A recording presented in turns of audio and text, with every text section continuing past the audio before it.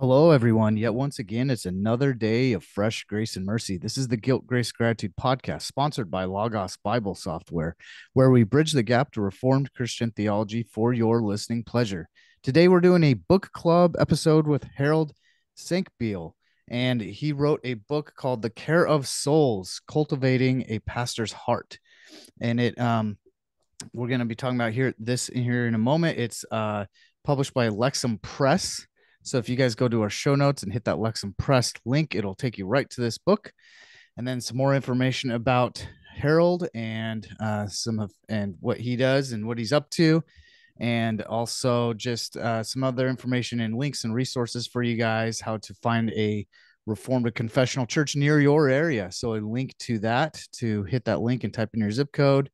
Just other information and resources of how to uh, access our podcast and and utilize it. So you can find us on social media instagram and twitter but also you can find our conversations recorded via video for youtube. So just type in our podcast name to youtube and you can watch these conversations that way if that's more your jam. So I actually am doing a little new thing for our book club episodes where I read a endorsement um, based on the book that we're doing the, today. The one that I'm going to do, and I'm just flipping through the page, is actually a father from a father of a former guest that we had on, uh, David Zahl. We had on. So this this endorsement's from Paul Zahl, and it talks about this from for Harold's book. It says, "In the care of souls, Harold Senkbeil draws on decades of hands on parish ministry to offer a rich handbook for parsons and priests. I say handbook because it's almost all here the practice of listening, the attentive diagnostic analysis of acute suffering, often repressed or displaced, that everyday people live with and deal with, the alternate pitfalls in ministry of giving up or hyperactivity, the inner psychological side of surviving critics in the parish, and perhaps my favorite imperative pray out loud. Pastor Harold has an eye on contemporary issues such as pornography, the proper Christian resistance to, to cultural confusion and denigration, and the computer age. He comes across as an old guy who is wonderfully compassionate, nobody's fool, and absolutely Pauline in discipleship and practice. In short, I wish Pastor Harold were my local minister, but if he can't be, at least I got his book. So I'll let Peter further introduce Pastor Harold today. Yep. This is uh, Reverend uh, Harold Senkbeil. He's uh, a de- executive director emeritus of Doxology, the Lutheran Center for Spiritual Care. His pastoral experience of nearly five decades includes parish ministry, the seminary classroom, and parachurch leadership.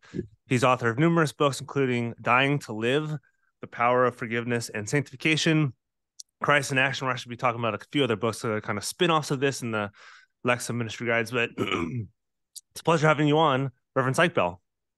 Oh, what a joy to be with you. Thank you for getting up so early.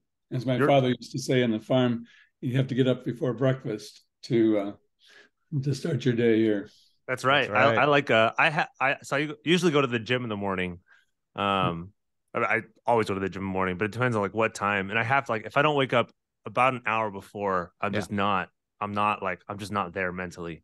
Yeah, if it's within an hour, your just brain is not there. Yeah, no, that's yeah, so it's just not it's not happening. So it's it's both for like kind of um it's it's my devotional time, but it's also like I, my brain needs to wake up before I do anything else. Mm-hmm. Um, but so yeah, for those who may not know who you are, know you're worth that that much, but maybe let our listeners know a little bit about yourself, your background, and what you did for the past fifty or so years, doxology, all that good stuff. Okay, yeah. So yeah, 51 years in the ministry now mm-hmm. and counting. And uh, so the uh, I, I, uh, I, often joke that I've retired about four times. That's right. Yeah. Ministry. Um, but now I'm a, a full time grandpa and father, mm. as you can see in the background here. Mm. and um, and I also write books and I speak occasionally. So uh, okay. this is part of the occasional speaking, I guess you might say. Yeah. So I began my ministry um, in 1971, um, mostly in small town and rural areas. Mm-hmm. Um, 1976, I moved to Madison, Wisconsin, and was a mission planter there, and okay. uh, then suburban Milwaukee, Elm Grove, Wisconsin, in uh, 1979, 1980, and uh, um, 86, I should say, and then um, and then was called to the seminary in Fort Wayne to teach there for uh, six years. Um, so I semi-retired from that, moved into parachurch work, uh, doxology, mm-hmm. uh, which is a training program in the care of souls, advanced skills, utilizing the insights of the uh, longer tradition of uh, soul curate, which mm-hmm. is what the book is about, mm-hmm. and also uh, contemporary Christian psychology, the best of that. My colleague, Dr. Yahnke, hmm. was highly instrumental in forming that that work uh, which continues today under different leadership. Um, hmm. so I have I've kind of one toe still in doxology, uh, leading the uh, Collegium of Graduates. Um, we have a, a group of uh, fellows in that collegium who guide and direct uh, some of the thinking on contemporary issues from the viewpoint of the uh, classic view of the care of souls. So that, hmm. that's a very exciting kind of life for me. And uh, so I'm happy to share what it what little bit that I've gotten to know over the uh, over the decades, and that's kind of about, I guess you might say. Yeah, it's yeah. a good book. Yeah, yeah. I, I would say it's a little bit. I would say it's a lot of bit. There's a there's a lot we can we can learn from from you and your and your ministry. And so maybe first, what we can ask is, uh, you've been you've been in ministry like you said for over four, five decades, and you ministered to to thousands of got to guess souls. So in answer to this question, you've already kind of kind of touch on this, maybe to to fuller develop it, is uh, what led to writing this book um, at this point? What are you hoping to do with it? Okay, well, the formation of doxology took quite a while. It began over 25 years ago in conversation with uh, Dr. Yahnke, the clinical psychologist, and we compared what it is that therapists do and what it is hmm. that pastors do. We did some research into the longer history, and that's where we kind of stumbled on the insights of the ancients when it came when it comes to the cura animarum or the care of souls. And then lo and behold, this is a part of our Reformation history, both Reformed mm-hmm. and Lutheran, and the whole spectrum uh, really of, of Christendom. So uh, it's not like we have to reinvent the wheel. Um, the insights of these early um, uh, soul physicians really provide guidance, I think, for contemporary pastors as well. So uh, early on, Dr. Yahnke was saying this might be worthy of a book, and I said, "Well, yeah, yeah, that's an interesting idea. Idea whose time has not yet come." Then, as I say in the forward, I was I'm blessed with a very obstinate and persistent, uh, very close friend, Lucas Woodford, who just got on me and said, "You got to write this." Hmm. And uh, finally, just out of self defense, I sat down and, and, tried to codify this, which is essentially distilled from the lectures that I provided through doxology hmm. And conversations over the um, years with uh, hundreds of pastors. Hmm. So um, he um, also was uh, saying, now you got to write a chapter on parish administration. And I said, I hate parish administration. And he said, Well, that's why you need to write it. and uh, then my editor, Todd Hains, I believe you've had him on your podcast, yep. said the book is too long. So we peeled off that portion about about parish administration hmm. planning, which uh, Lucas had written, and that's is the first volume in the series, the Lexham Ministry Guides, Pastoral Leadership for the Charis. Oh, okay. So that all began as one project, and then the spinoff came from there. Okay. Yeah. So I have to blame Lucas, I guess, for this book. gotcha. Well, we'll we'll thank Lucas for this book. We we won't blame him so much. Okay. And uh, I don't know if we mentioned this yet, but uh, the the forward was written uh, by Michael Horton in the book, and you're good friends with Michael Horton. Is is if you guys get this book, read the forward. It's it's great. Um, I've had Michael Horton on our show a few times. Uh, Peter's taken classes from him. as well. Uh, so, uh, and then this book also, I it's me as a layperson. Um, it was a good, as most people are lay people. uh, mm. It's a good re- reminder of who pastors are, what they should be.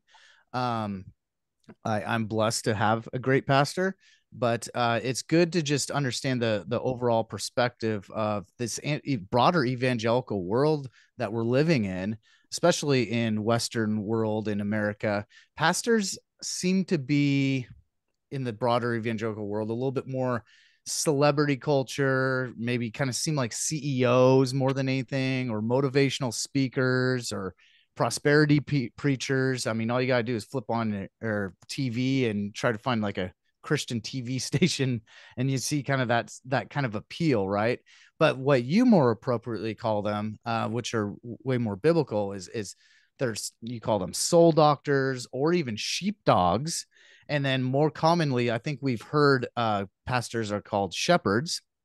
Um, but I, I really appreciated you saying soul doctors and sheepdogs. So could you maybe uh, uh explain those terms for the audience?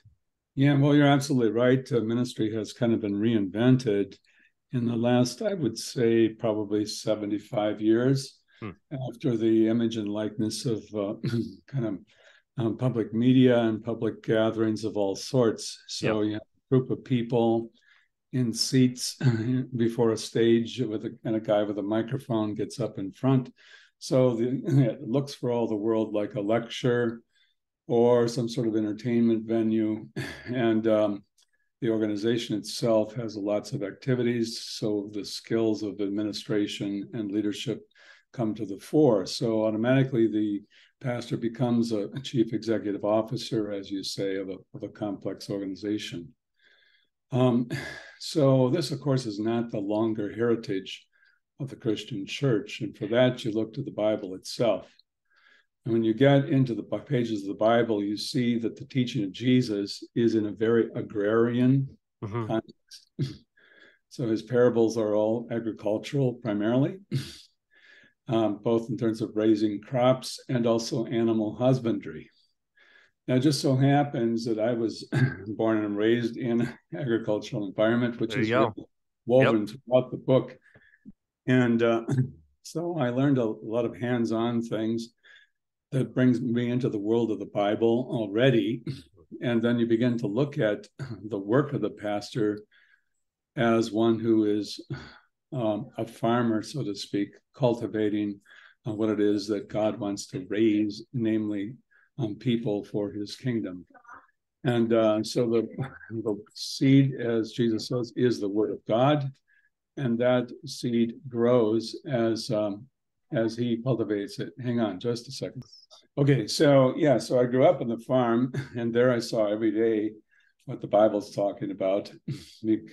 My father and I were engaged in actually raising crops and tending animals. Mm-hmm. Um, so the imagery of the Bible is not really an imagery, so to speak, it's actually what is going on because in relationship to God, who is the shepherd, Psalm 23, right? The Lord is my shepherd. We are all sheep. Sheep are dumb animals. not just You're calling us dumb? Not just because they can't talk, because they're actually Yeah, totally. And they need a lot of guidance or else they're going to perish. Totally. Yeah. So uh, that's the way we are.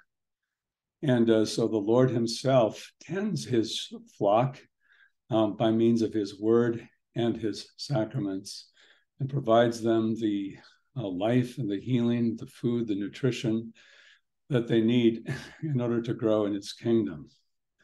There's all kinds of predators out there, uh, so he wards them off and guards and keeps them as well. now, so the pastor, the word pastor itself actually means shepherd. Mm-hmm. And um, I ran across some years ago this analogy of, of the pastor not as shepherd but as sheepdog, which speaks to me a great deal, because the relationship uh, of uh, of the pastor himself to the people is an intermediary. He doesn't really, honestly, do the work of shepherding. Jesus does it, properly speaking, mm-hmm. by means of his word. He just kind of shows up and dishes out the goods. He proclaims the gospel, he administers the sacraments, he applies the word of God, both law and gospel, in appropriate ways, in appropriate proportion for the unique circumstances of each individual soul. Hence, he has to have the eyes and ears of a physician. That was uh, St. John Chrysostom who said that the uh, pastor needs a thousand eyes to examine the condition of the soul from every angle. So um, the pastor simply doesn't really know what to do unless he listens to Jesus by means of his word. Hmm. Now, if you can see over my left shoulder in the far end of the of the hallway, there mm-hmm. is of of Jesus with a dog, and the dog is really looking at at Jesus. And this is the relationship we want to cultivate as pastors to mm-hmm. to always pay attention to Jesus, to look to Him for guidance, for our security, for our protection, and then also for our guidance. Um, an analogy, uh, a lady by the name of Evelyn Underhill said the uh, the dog really doesn't know what in the world is going on when he's going after the sheep. They're running all all over the pasture, but he listens for the guidance of the shepherd and he does what the shepherd wants.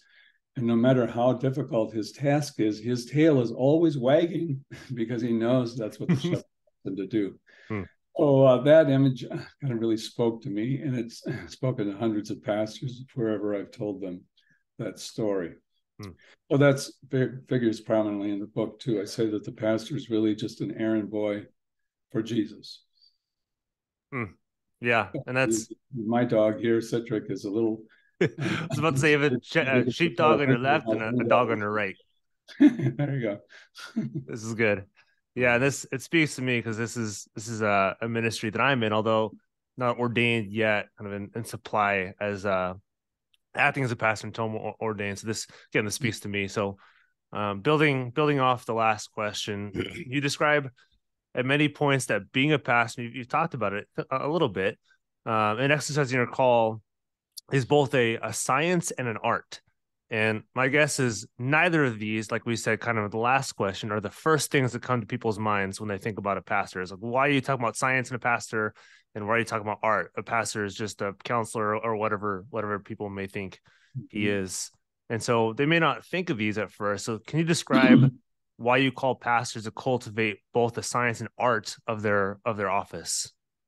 Yeah, one of one of my great heroes is Eugene Peterson, who the late Eugene Peterson, in many of his books, he he kind of unpacks this as well. He says, in too too many people's minds, the pastor is like the jaunty foreman of a self improvement crew, mm-hmm. mm-hmm. get people to do things, mm-hmm.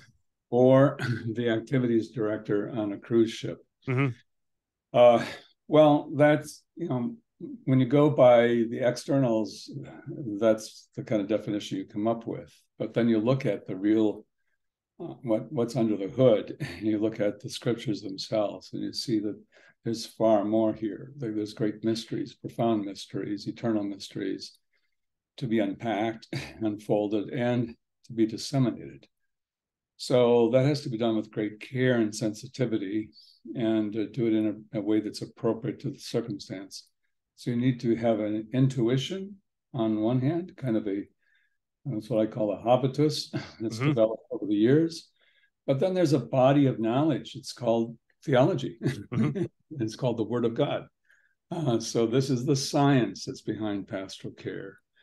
Um, and just as a, a, good farmer would ideally learn a lot about agriculture and a lot about plants and a lot about animals, but then it's in the application of that, how he tends the plants and the animals, uh, that things really come home for him and for the enterprise he's engaged in. So, the science, the body of knowledge, the, the truth of the Word of God, and then the art.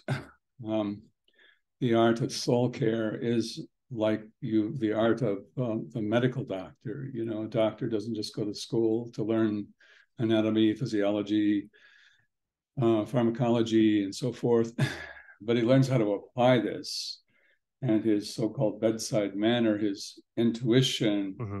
and together all the moving parts of the health and welfare of the patients is what makes him a good physician. Hmm. Yeah.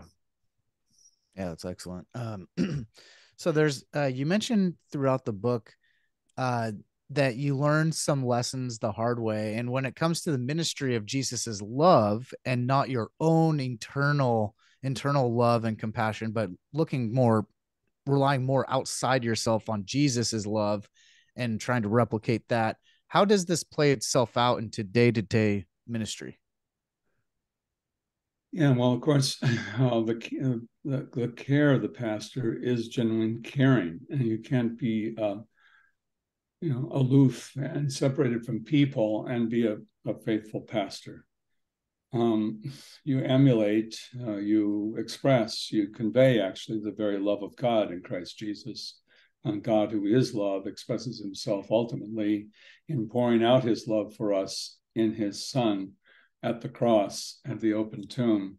But then he moves on from that in his living word to provide us with the very light and life that is in Christ Jesus. So at every moment of ministry, you're engaged in this active expression, dissemination, you might say, um, unveiling of the love of God. Um, now, early in my ministry, I recognized, of course, there's a lot of hurting people, and, and as a Christian, your heart goes out to people. Um, so I assumed yeah. added one and one, and I got two. If you have a hurting person, I, I have a compassionate heart. If I put the two together, then they're going to get better. Well, it was helpful in a crisis situation, but what I found quickly is I ran out of compassion. Uh, I didn't have it in me to carry the load of other people plus my own burdens. Uh, so I wasn't particularly helpful uh, to that individual. It's it's a little like when you go on an airplane, and the uh, the flight attendant says, if uh, in a case of emergency and there's a lack of oxygen and cabin pressure, these masks come down, and if you're traveling with a mm-hmm. person who needs assistance, what do you do? Put on yourself first. You put your mask on 1st mm-hmm then you can tend to the other person. So you need to give to others what you yourself have received. That's the point on pastoral ministry. I'm just a channel. Hmm.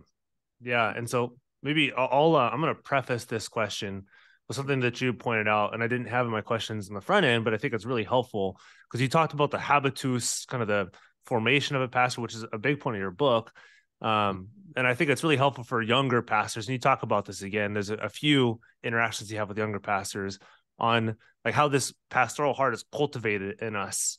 And it's mm-hmm. not like an immediate thing that we kind of just grow into or like we learn how to be pastor in the first moment. So how, maybe how does this how does this pastoral heart how is it formed and shaped into us and how are you like, you said habituated into being a pastor of God's flock? Well, you learn by doing. I think that's the longer history in any profession worth its while. It's the same. Um, I don't care what what activity you're involved in, but, but let's use medical, um, uh, the medical field as an example. You know, a doctor might go away; he might become a specialist in a certain field of medicine. He has this whole body of knowledge, but it's in the application of that for the health of people that mm-hmm. everything comes comes home and for that he needs not just the uh, this whole wealth of knowledge in his head but he also has to have a heart for for medicine he has to have a heart for suffering people and to bring that healing to bear with, for them he needs to copy what he's learned from other caring physicians in the mm-hmm. past so it, it is a corporate enterprise, I, I, I, think the ministry is. And rather than just emulating these uh, flashy um, heroes of the megachurches as being our sole image for what an effective pastor is, let's learn from those who've had who've learned over over the decades of the school of hard knocks of just simply being with people in their suffering being with people in their sorrows, their burdens, their concerns, their doubts, their worries, and uh, and how it is that they are comforted, consoled uh, by the healing word of God and the power of His sacrament. Yeah, and so and I think that's that's probably a better lead up into into this question because and again you make a huge point and, and both Nick and I can heartily agree with this is kind of a kind of a staple of reformational pastoring, which is its its base and its its growth and its its kind of umph comes from the the simple word and, and sacrament ministries, the, the means of grace that uh, that really helps care for souls. And and again, that not saying that it goes against the grain, but that's that's kind of not what you're taught by a lot of other you can call them seasoned pastors or a lot of kind of pastoral ministry handbooks and here's all the ins and outs and you don't really get the uh the simple means of grace word and sacrament ministry. Um so why why are these so important for the care of souls and maybe not kind of the the other stuff that you may hear from other people? Well simply because they are a channel they are a means of god's grace his unmerited favor in christ jesus. Um, so Jesus said, Go and, and preach the gospel uh, to every nation, uh, baptizing them and so forth. So um, it is the word of God that affects reality, not ideas. God so loved the world, he did not send a committee. He did not send yep. a bunch of ideas, but he sent yep. an embodied reality. Uh, Jesus is the way, the truth, and the life. So he sent his very heart, he sent himself. And so Jesus comes to us by means by means of these external channels of the proclaimed word and the sacraments administered. Mm-hmm. Now, I have to hasten to add that it's not quite. A, I mean, some people fall overboard on the other side, and they say, "Well, see, it's a matter of of just um, the right truth at the right time." Yeah. Um, dogmatic theology is in itself is not healing, and Jesus is. And the yep. Word of God can be divided into into dogma and to be described in, in dogmatic terms. But it's not as simple as saying, "Well, take these two Bible passages and call me in the morning." yeah, yeah. You know, it's rather bringing, uh, facilitating a conversation between Christ Jesus and this suffering soul. and that's what you're engaged in as a pastor. And, and there's nothing like it. It's an amazing thing to see God at work and the Holy Spirit active uh, by means of these channels. Hmm. I want to bring up biblical joy. I thought that was really good in the book. Uh, how can pastors exhibit love in action, leading the congregants to biblical joy rather than fleeting happiness we so often long for in this world? um, more worldly joy, I guess you would say, versus biblical joy. Um, you share some incredible stories in the book where you might expect people to lose all hope and joy, and yet through the simple ministry, through simple ministry, uh, the Lord gave you, they don't. So maybe kind of talk about that a little bit. Yeah, well, um, Jesus said that his joy is to do the will of the Father. Mm-hmm see uh, the love of God in action through what he did is what he what kept him going. And uh, so even the very last night, as he contemplated the awesome, fearsome um, prospect of his suffering and death as the sacrificial victim for our sin, and literally pleaded that if possible the cup would pass from him, he said, Nevertheless, not my will, but yours be done. So joy is found in doing the will of God. And uh, happiness, on the other hand, is is self fulfilling um, pleasure, which is great. I love it too, but um, but happiness is a fleeting thing. It's here today and gone tomorrow. Mm-hmm. Uh, joy, on the other hand, can be experienced in the midst of sorrow, and and unless you've really uh, suffered with someone and um, borne their burdens, it's it's hard really to grasp that reality. Uh, so um, that's why the apostle could say, Count it all joy. Mm-hmm. You experience these various sufferings. Um, so, um, because you see that God is at work and undercover, so to speak, um, undercover the opposite. Uh, this is what the reformers call the theology of the cross.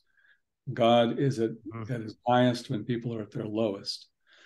and uh, so you win by losing when you're with Jesus. You, um, you, uh, if you seek to save your life, you lose it. If you lose your life for me and for the gospel, you will save it. So, invest in yourself in the midst of sorrow and suffering is you find that uh, God is at work there, you see God's hand in action, um, providing consolation, comfort, and care through what you're able to provide. And you have the satisfaction of knowing then that you are an agent of God in the midst of that suffering. There's where joy, I think, is found. Um, whereas on the other hand, if you're looking just for happiness and success, you might achieve that for a, a brief period of time, but it will not sustain you for the long haul. Yeah. Yeah. It seems like happiness is kind of more dependent on what we short term experience in this world, and biblical uh, joy is more experienced on hope and what Jesus has done, doing, and will do. Yeah, but the main thing there is that it's not just for future, like the as the old saying goes, a pie in the sky by and by. It's mm-hmm. not a delayed right pleasure, but rather hope. But joy is found in the midst of suffering, mm-hmm. as you recognize that God is at work even here, and He's mm-hmm. sustaining me in the pits.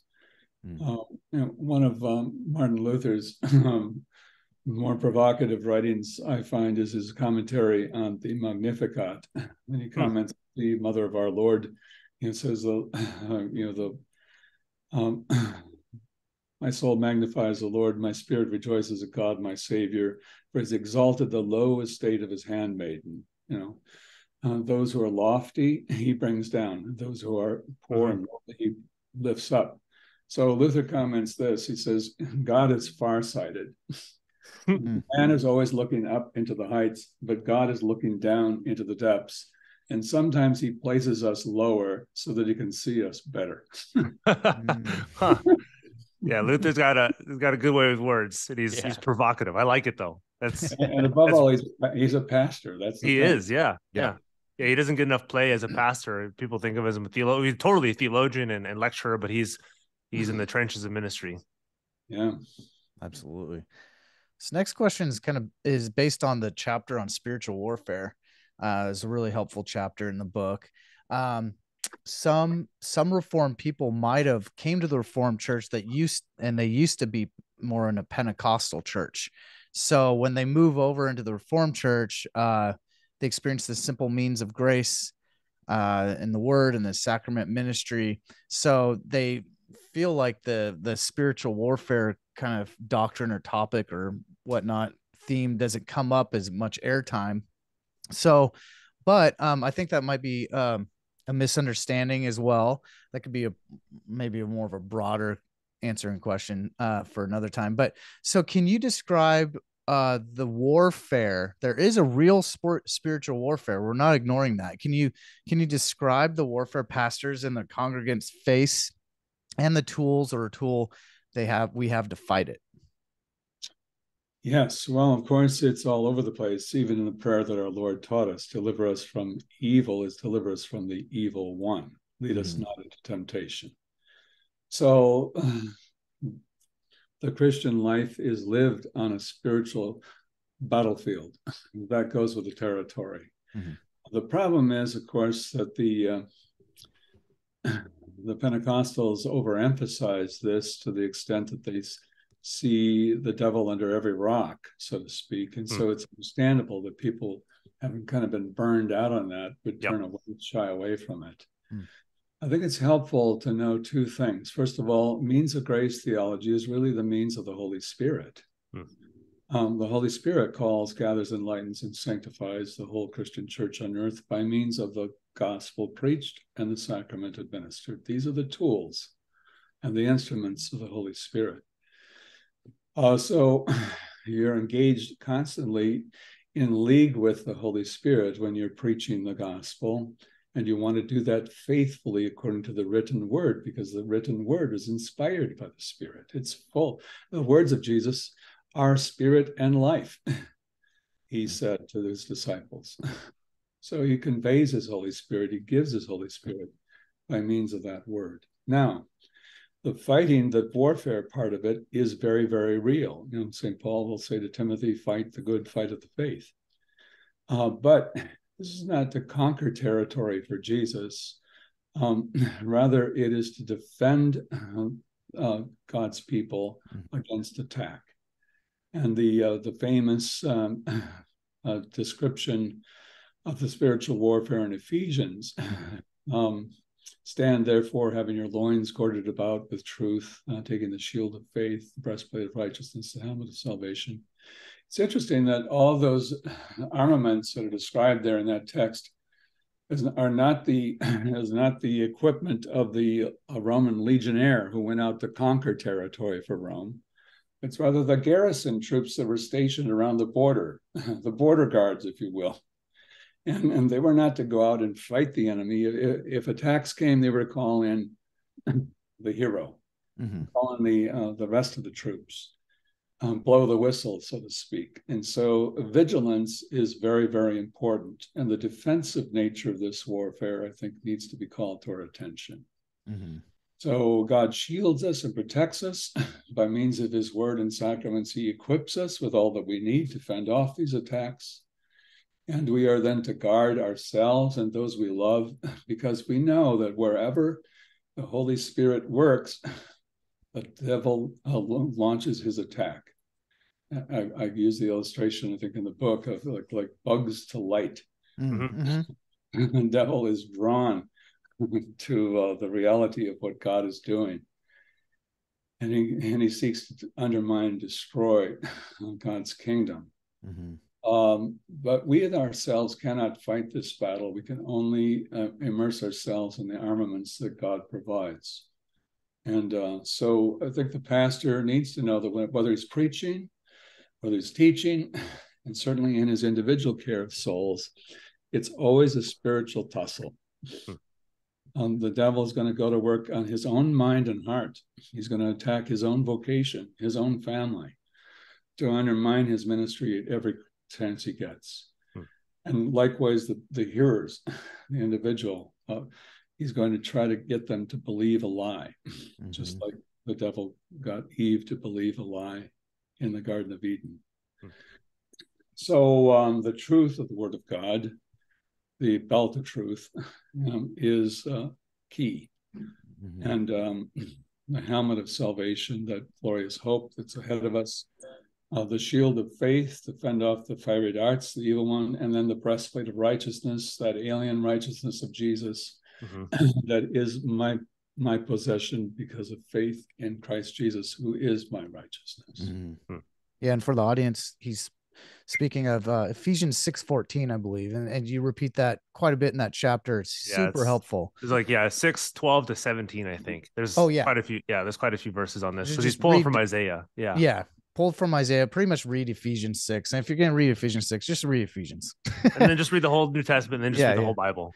And you're and you're talking a lot about the real enemy is the world, the flesh, and the devil. And the, something that the devil very consistently does, he's the father of lies, is really he tells unbelievers that their sin is not a big deal and then he tells believers that there's there he accuses them he says your sin how could god forgive you after how could you call yourself a christian look at what you've done so so i think yeah he, luther's got a fun little statement yeah he's yeah. about his uh about the sin that the devil is like you don't even know the half of it yeah well, right. Or he says, "Thank you very much, Mister Devil, for preaching the gospel to me, for because it was for sinners that Christ died." yeah. Exactly. Yeah.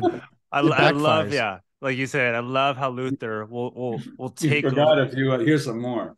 yeah, yeah, he'll he'll tweak some of these things. It's like, oh, thank you for bringing my sin to me to to know how the righteousness of Christ covers that.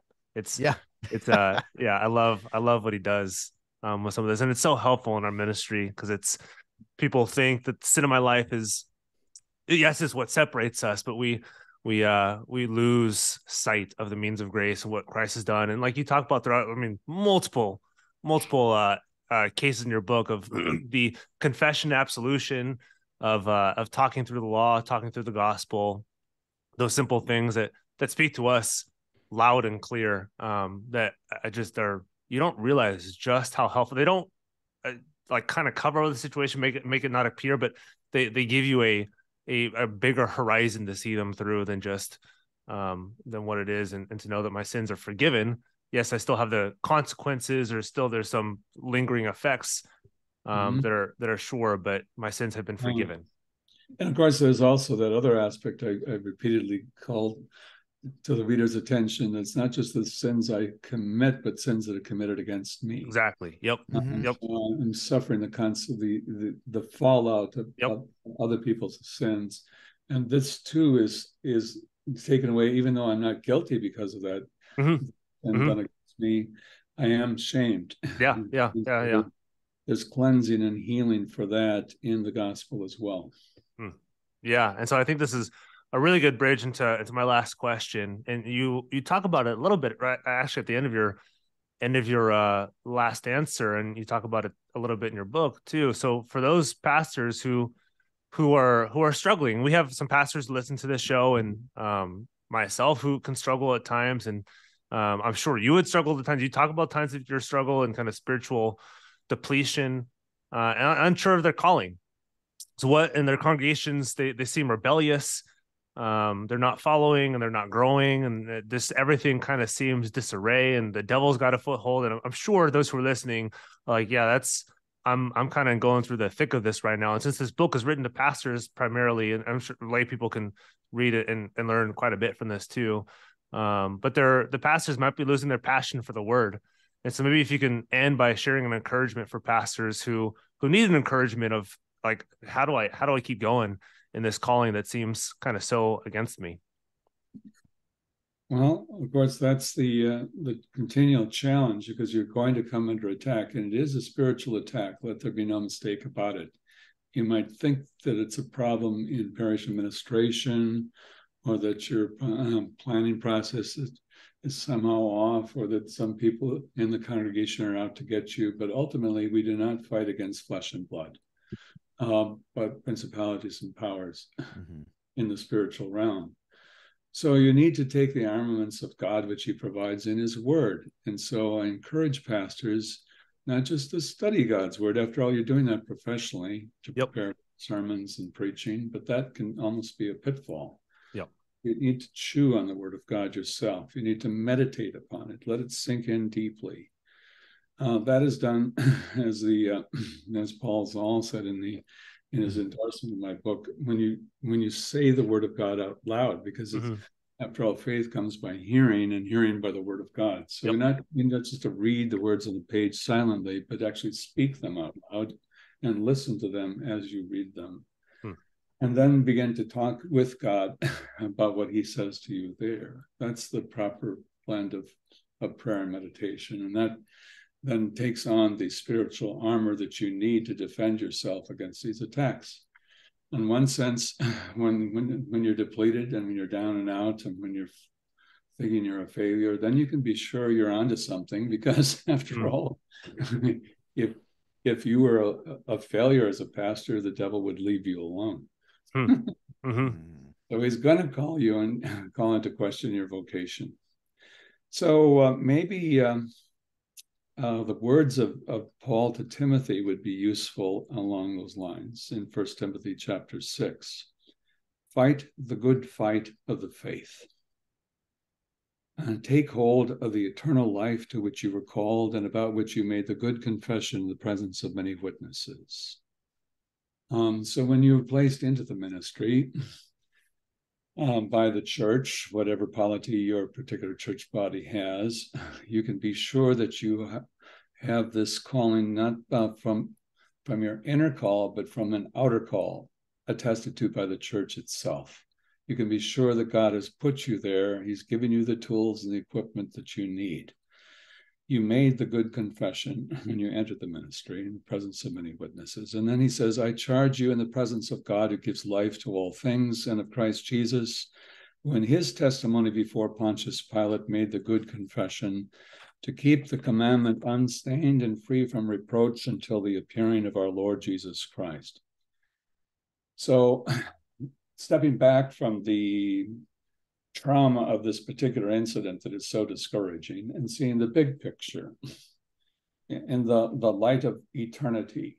Um, uh, Christ Jesus himself, who during his uh, trial before Pontius Pilate made the good confession that he was indeed the Son of God, uh, to keep this commandment given to you to, to preach his word unstained and free from reproach because of the merits of Christ until the appearing of our Lord Jesus Christ. I'm I'm in this right now. Yes, it's difficult, but I know whom I believed. I'm confident that he's able to preserve that which I've committed to him against that day, the day of the glor- glorious triumph of Christ Jesus. So we know the final chapter, we know the final outcome, and then we can endure the uh, the incoming, so to speak, in the midst of the difficulties of uh, of ministry and life. Yeah, that's helpful. Um, yeah, I hope pastors who listen to this can can learn and, and dwell on these truths and be. And I was reinvigorated for Simple Word and Sacrament ministry because of a lot of the, the uh, both the the battle language that that is very real in uh, in ministry, both at the pulpit and in kind of private ministry as well. So I really do hope people pick up this book and congregants pick up this book for themselves and give it to their pastors. Uh, I think it's it's helpful for both. Uh, and so maybe if to to end, maybe where can people find you, um, find some of your work? And I know you have some other writings and some spin-offs from um, Care for Souls, and so maybe talk about that a little bit too. I thought you'd never mention it. I'll, I, we will always get to it. Don't worry. Okay, so yeah, I alluded to this earlier. The uh, Lexham Ministry Guide. Yep. this was the first one that was part and parcel of the book that we've been talking about yep. originally, and then there's two recent titles.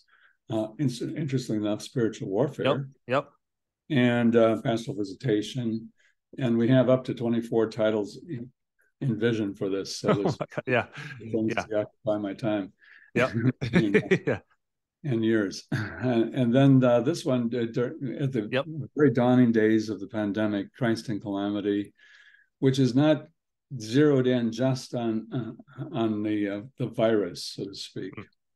But on any calamity. And uh, there's prayers in here, there's meditations, and it's geared toward people who are struggling. Very useful for any Christian uh, clergy or lay. Mm-hmm. Um, I alluded to this earlier. My wife was on hospice care, and I had the mm-hmm. privilege of caring for her during her final days. Yeah. Um, and uh, she asked me to uh, read a chapter of this book hmm. every night, which I did. And um, frequently she would say, she would kind of breathe a sigh of relief and thanks. And she would say, Are you sure you didn't write that for me? And I said, In God's providence, maybe. Yeah. I'm, I'm sure that wasn't, yeah, that, uh, that was probably somewhere in the front of your mind to write it for your wife was, for sure. Well, it wasn't. She wasn't in hospice when I began it. Yeah. Um, hmm. It was because of what we, as a couple and our family yeah. and my ministry, have, have observed. So, yeah. Uh, yeah um, well, they can Lexham if you go to Lexham. Uh, yep, we'll link all those to the show notes too, kind of the the, the um, ministry guides as well as they say, Amazon, your favorite bookstore, all that sort of stuff. And um, then you will find, I mentioned early on, Doxology. There's a wonderful uh, website for one and all called doxology.us. Is a uh, under resources of all kinds of things, of both documents and videos, uh, not just from me, but others as well. It'd be useful too. Awesome. Yeah. Well, Reverend Senkbeil, thank you. My uh, my email address is there as well. Oh yeah, so, yeah, that's right. Yeah, so can... they can contact me personally if they like, and I'd be glad to interact with them. Awesome. Yeah. Well, thank you so much for coming on for for writing this book. Um, and this just so listeners know, and, and so you know, to this actually this episode will air right after an episode we just had with Dr. Kruger on mm-hmm. the bully pulpit, which is spiritual abuse. And we we kind of played off of this because we we want to show both kind of the and for lack of a better, the bad side and the good side. This is what pastors shouldn't be. And mm-hmm. this, we're hoping this episode is this is what pastors should be. Mm-hmm. Uh, so if, if, you've listened to last episode with Dr. Kruger, um, yeah, hopefully you made it through this episode to see, oh, this is the, this is the bright side. This is, this is what Christ calls his, his, uh, his sheepdogs to be. But mm-hmm. thank you so much for, for writing this and for, uh, for your work and uh, for even though I've never met you in person, I feel like you're in some sense a spiritual mentor of mine who's who's, who's given me 50 years of his experience, which is which yeah. is sorely needed. I, I I need as many experienced mentors as possible, and I'm sure all pastors out there are thinking the same as that thing. We all do. It's a collegial enterprise. So yeah, agreed. Blessings to, to both of you. Thank you. Thank you.